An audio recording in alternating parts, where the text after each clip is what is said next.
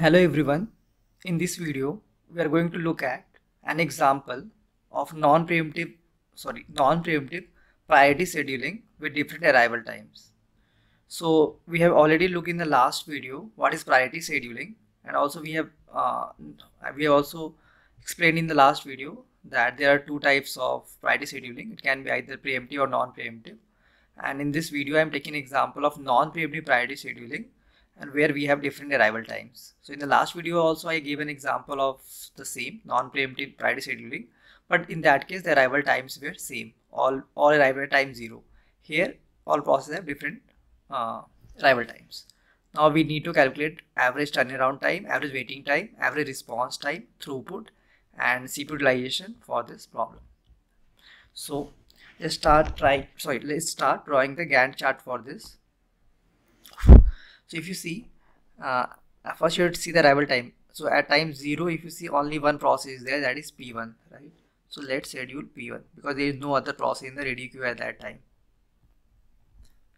P1 from 0 to 1 because we don't have to check here with from where to where it should run because this is non-preemptive.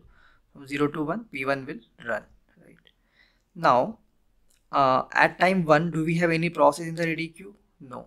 The other process p2 and p3 arriving at time 2 that means from 1 to 2 there is no process in the ready queue. And cpu will remain idle. Now at time 2 we have two processes in entering the ready queue p2 and p3 so in this case now we have to check since we have multiple process here we have to check their priority. Okay i forgot to mention one thing. Here lower the number lower the priority number okay lower this priority number higher is actually the priority. Priority number higher the priority. Higher the priority. That means I mean 0 we are considering this as the highest priority here. We are assuming that the priority can be from 0 to some positive number. So in this case we are considering 0 as the highest priority here so in my previous example, I will consider the opposite where the higher the priority number, higher was the priority, right?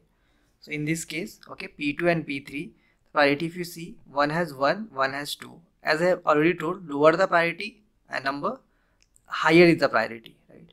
So in this case, this will have higher priority than this 2. That means P2 will get scheduled first. Let's cross P2, it has terminated. Now PT but burst time is 1 from 2 to 3 it will run. And p2 will also terminate. Now at time 3 which all process we have? We have p3 and p4 in the ready queue right? Now let's check the priority of both.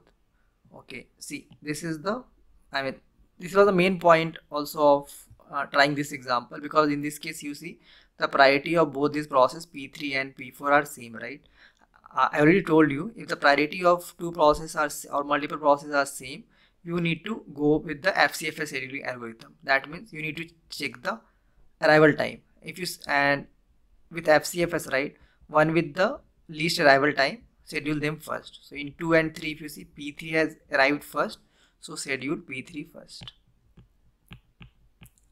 And P3 burst time is 4 from 3 to 7 right? So P3 will also terminate now at time 7 you have P4 and P5 both in the ready queue.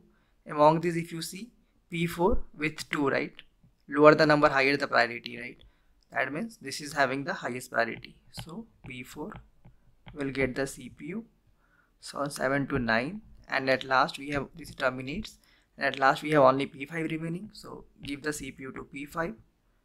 The burst time is 3. So from 9 to 12 is P5 so this is the Gantt chart. Now let's calculate all the numbers. Similarly here also we will take help of two parameters start time and completion time to calculate other numbers like turnaround time waiting time response time for each process. Draw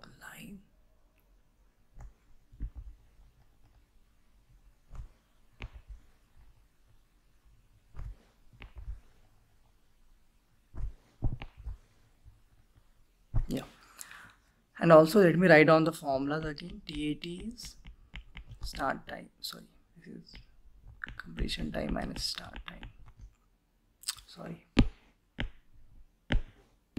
This is completion time minus arrival time.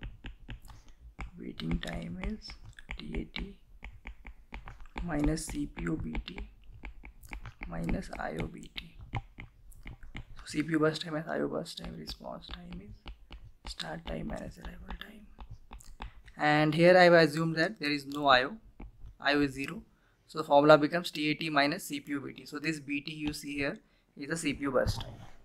Now let's calculate the start time for P1 is how much? 0 about P2 2 P3 3 P4 7 P5 9 completion time for P1 is 1 P2 is 3 sorry P2 is 3 P3 is 7 P4 is 9 P5 is 12 TAT is CT minus AT 1 minus 0 1 3 minus 2 is 1 7 minus 2 is 5 9 minus 3 is 6 12 minus 5 is 7 wt is tat minus cpu bt or tat minus bt so 1 minus 1 is 0 again 0 1 6 minus 2 is 4 7 minus 3 is again 4 rt is start time and arrival time. Start time is 0 minus 0 0 here you have 2 minus 2 0 3 minus 2 is 1 7 minus 3 is 4 9 minus 5 is 4 right. Now the average TAT will be equal to 1 plus 1 plus 5 plus 6 plus 7 by 5 this will be equal to this is 13 plus 5 is 18 20 by 5 is 4 average waiting time sorry. this is equal to 1 plus 4 plus 4 by 5 equal to 9 by 5 and the other number average RT will also be same actually it will also be 9 by 5 right?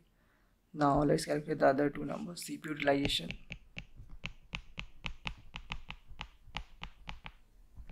This will be equal to total time here if you see is from 0 to 12 so 12 time is 12 units of time. Out of this 12 units of time for how much time was CPU actually running some process right? Except this time from 1 to 2 CPU was running process for all the other time that means for 11 units of time the CPU was running some process and for one unit of time the CPU was remaining idle. Into 100 right? This will give you the CPU utilization and throughput equal to total number of process here is 5 put that in numerator. And in denominator you have to put the schedule length schedule length formula is maximum completion time minus minimum arrival time maximum completion time is 12 minimum arrival time is 0 so this is 5 by 12 right. So these are the solutions for this problem. And in the next example we will discuss uh, the, the same thing.